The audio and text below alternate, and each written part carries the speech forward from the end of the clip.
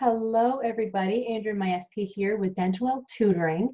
In the video today, I want to talk to you guys about how to study from a textbook because there's a right way to do it and there's a wrong way to do it. The wrong way will set you back.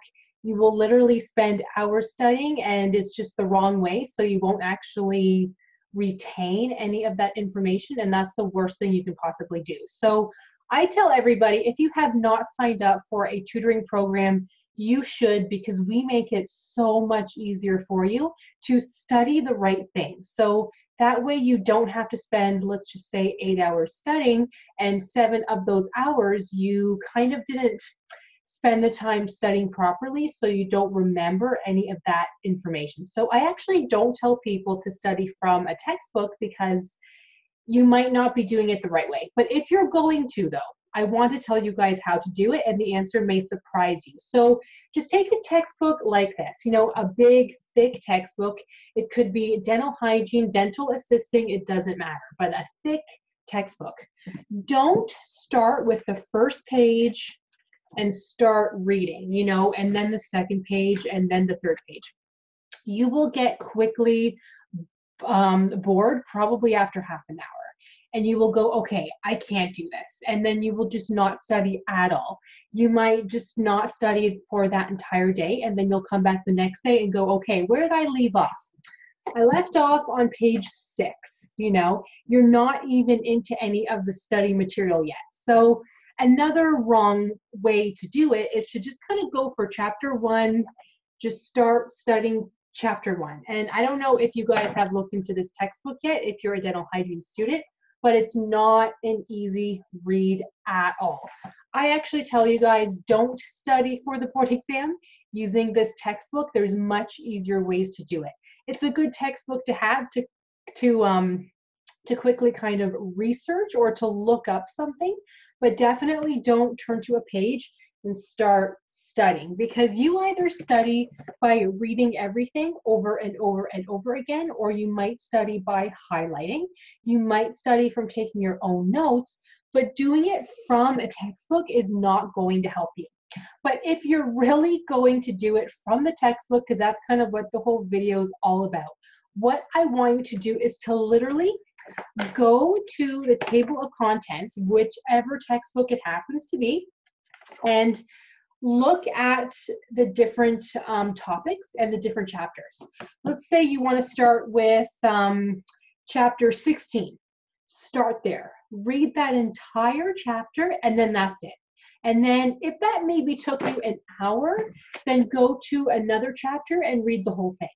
Don't go in order because if you go in order, at, after like two hours, you'll probably get done like 17 pages and then you'll be looking at the rest of the textbook going, oh my God, I still have all of this to do.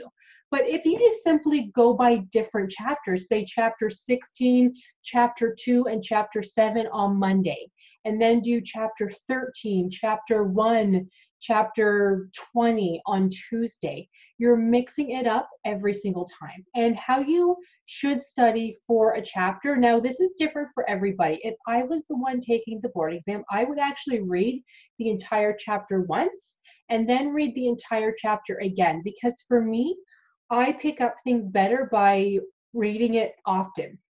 I never um, take notes.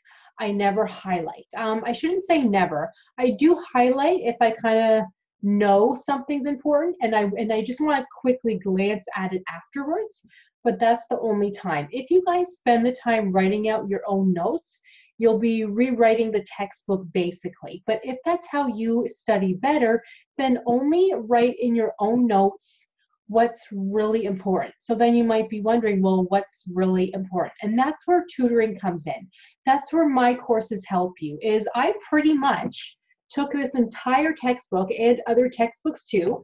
Um, you guys have probably heard me say before, but it took me many, many years to um, develop my courses in the first place. And now I update them every three or four months anyway, but it's a lot easier to update a course than to write the entire thing. So it took me years.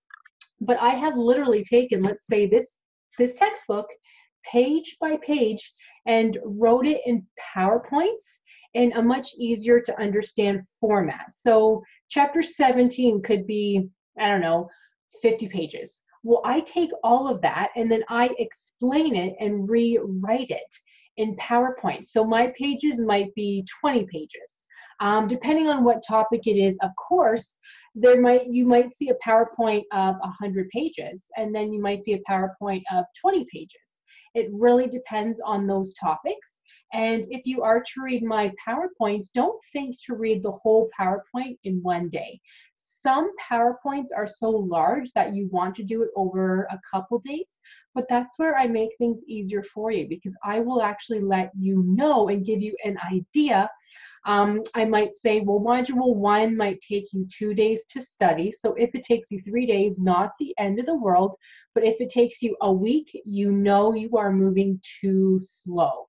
If it takes you two hours, then you're moving way too quickly. So I do kind of help you guys that way too.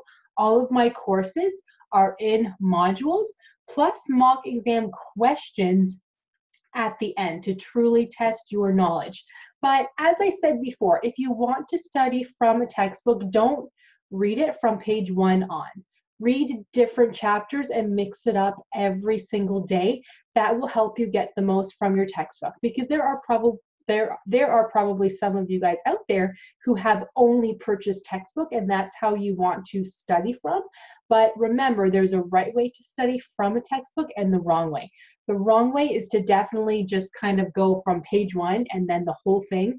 That's impossible you guys. You will be exhausted and i can tell you more importantly you won't remember anything and then you'll have to restudy everything again anyway that's the worst thing to do because you don't have time for that you won't feel very confident taking the board exam. And did I mention you won't have time for that? You won't have time to read this whole thing and then study everything again. No way. So I hope this helped you guys. Let me know though, I'm kind of curious in your comments, um, how do you prefer to study? Do you like to study from a textbook and just kind of highlight?